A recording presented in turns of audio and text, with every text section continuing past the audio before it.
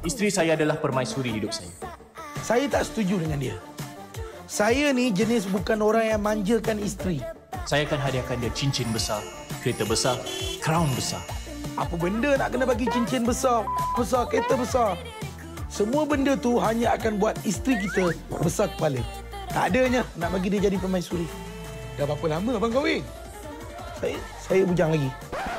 Dah lima kali kena reject. I tak perlukan semua tu sebab I dah kaya. Kalau boleh lelaki orang pun tak apa.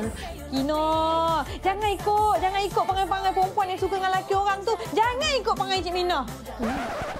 Lah, dah tu bagi tahu Cik Minah pun kahwin dengan lelaki orang juga. Boleh edit ke yang ni? Asalkan hati dia pun besar juga.